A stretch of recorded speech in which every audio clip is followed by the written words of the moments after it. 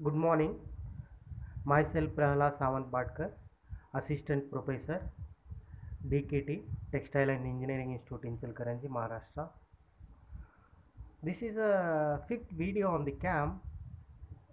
Okay, all the videos are dedicated to my daughter Pranita Badkar because she only made inspired me to upload the videos in YouTube. I thanks to her because she helped me lot. Okay? Thank you. Then i'll go to the next. Whatever the things i've explained in previous that is a revision. I will take it as a revision. That is a cam types follower type cam nomenclature and shm i completed up to this much. Then i will come to the next motion of the follower this is the next motion constant acceleration and deceleration. We can call it as a uniform acceleration and deceleration. Look at the figure during the first half and second half. The magnitude of the acceleration and deceleration both are the same. Look at this.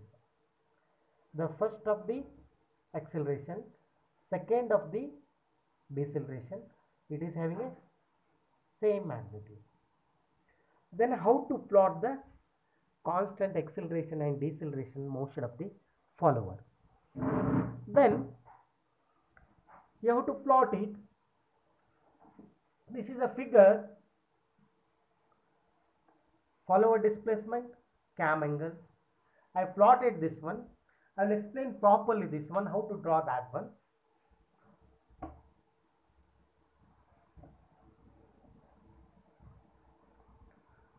this is a vertical follower displacement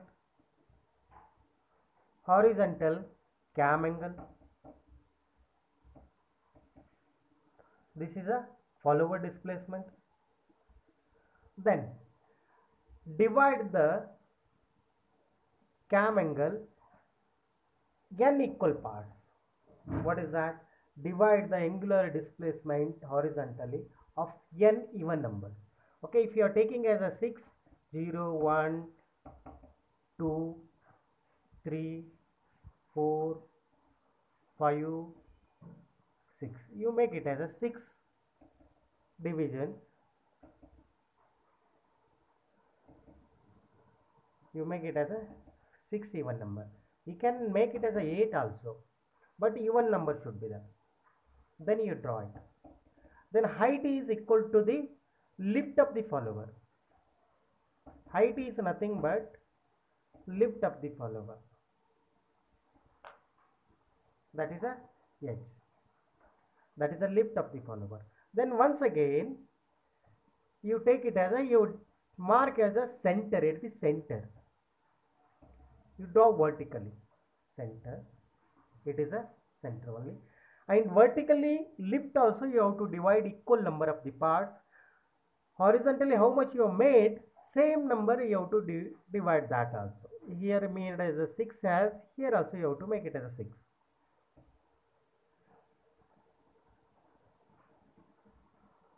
0 1 2 3 4 5 6 you have to make it as a 6 here also I made same thing. Look at this horizontally I made as a 1 2 3 4 5 6 vertical also you have to make it as a 0 1 2 3 4 5 6 here also I made same thing. Then draw the diagonal. It should pass through the center only. Draw the diagonal and it has to pass through the center only. Then what the things? You project it. 1 to 0 1 to 0 2 to 0 above. You have to join it in this horizontal.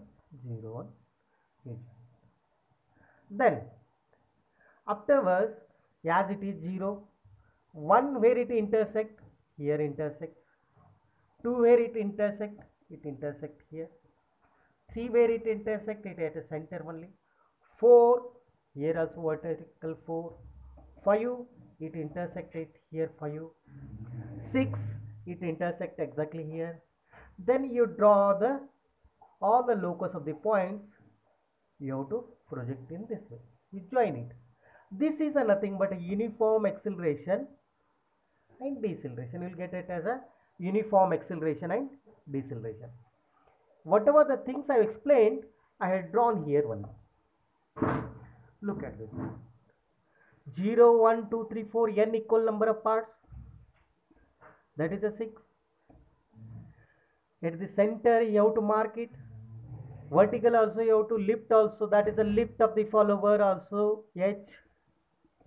You have to make it as a division. 0 1 2 3 4 5 6 then join at a 0 1 0 2 0 3 0 above also above the diagonal 4 here 5 to end of this 6 this is also then join the locus of the points.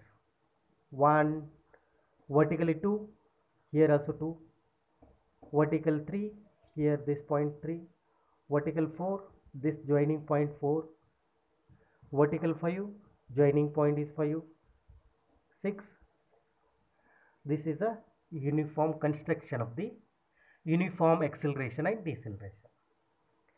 Then i'll come to the derivation. Everybody is known this one. Displacement that is a displacement equal to linear motion with the constant ac- acceleration of the follower is s equal to v naught t plus 1 by 2 ft square. At initial velocity at initially at the start initially the velocity is zero. At starting of the motion. Okay? Then you put it velocity at 0 then we'll get it as a equation as s equal to 1 by 2 ft square then you arrange the equation in the form of acceleration f that comes as a 2s by t square. Then i will consider the one thing that is a follower is a midway. Here follower is a midway. Means distance midway. In that case s is s is. H by 2 time taken to travel from here is that is the distance divided by angular velocity of the follower. Okay? This is a traveling of this distance traveled. This is a distance traveled horizontally distance traveled vertically. That is a follower displacement. This is a cam angle. Then substitute once again these values s and t in the acceleration. Then finally we'll get it as a 4h omega square pi square. This is the acceleration. Then you come to the velocity. Velocity is ds by dt. But you know the s? What is the value of the s? S is 1 by 2 ft square. Then substitute here. With respect to time will comes as a 1 by 2 f 2t then finally we'll get it as a ft 2 to get cancelled we'll get it as ft only. Then you replace. Everybody know that this is a theta linear that is a angular displacement equal to omega into t. Okay? Then you substitute. Instead of t you substitute the value. F value you have to substitute also t value also you have to substitute. What is the f value? F value is 4h omega square pi square. What is the t value? T value is that is a t value is theta by omega. Then we'll get it a velocity. When it is a velocity is a maximum? When is theta equal to pi by 2 the velocity becomes a maximum when it is a theta equal to pi by 2 velocity becomes a maximum. Got it? What i am explaining? Then I'll come to the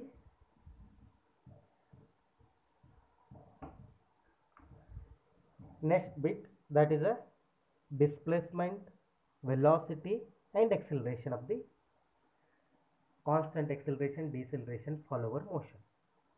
Okay? This is a part what is this part? This is a displacement part. Instantaneous displacement part of the follower. This part i have taken here only.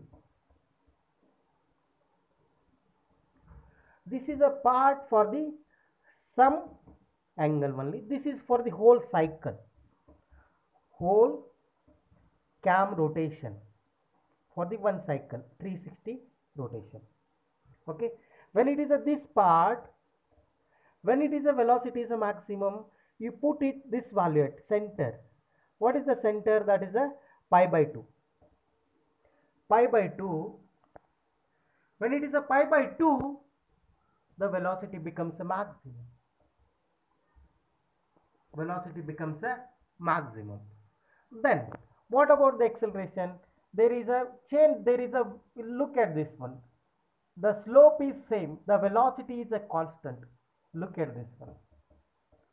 Velocity is a constant. Then acceleration is when it is a velocity constant the acceleration becomes a constant. There is a no change in what is the acceleration? Ds by dv by dt. When there is a no change in the velocity means the acceleration becomes a constant. When it is acceleration is a minimum when it is a maximum velocity is there in that case acceleration becomes a minimum. Okay? Then it repeats same cycle. What is this? For the full cycle I have taken for the 360 that is a dual period. This is a dual period of the that what is this? This is a return of the cam this is a return of the cam. For the return of the cam the velocity is in this way. Then acceleration also follows same thing. This is a for the beginning of the acceleration rise of the this is a return of the thing. Then I'll come to third. That is a constant velocity motion of the follower. That is the third one. What is definition of that one the displacement of the follower is directly proportional to the cam rotation. Displacement of the follower is directly proportional to the cam rotation. Then for this I'll go for the derivation. S is instantaneous displacement that is a displacement of the follower. H is also maximum displacement lift of the follower. Okay both are. S is a minimum H is a maximum displacement of the follower what is theta in pi? Theta is here beginning. Theta may be 0 when it is comes here theta becomes a pi. Here also vertical also this is a s is a minimum. When it comes at a maximum s becomes a a h then by ratio method i will write it as a s by theta then replace. That is a ratio method s equal to h theta equal to pi then rearrange the equation in the form of s. S equal to h by theta by pi. Then what is a theta? Theta is nothing but a omega into t. That is a angular displacement equal to omega t. You replace theta here. That is comes as a omega t. Velocity is what is a velocity? ds by dt with respect to t becomes t becomes a 1 here 1 then acceleration derivative of the velocity that is a there is there is a no constant. This is all becomes a constant that becomes a zero only. Okay then i'll come to the displacement diagram velocity diagram then acceleration diagram. This is a displacement diagram. I have taken for the one of the period. Okay displacement that is the displacement is this only. Okay? Then what about this one? X velocity. There is a no change in the velocity displacement. There is a no change in displacement. The velocity becomes a constant here. Look at this one. Slope is same. When there is a no change in velocity acceleration becomes a constant at beginning and at the end. It will find the some jerks some changes here acceleration. Okay? I hope that you got it. Okay? Today i explained upon the two motions. One is a constant acceleration and deceleration. That is one more that is a constant velocity. Then only one thing is left that is a last motion of the follower that is a cycloidal then i'll come to next video. Thank you everybody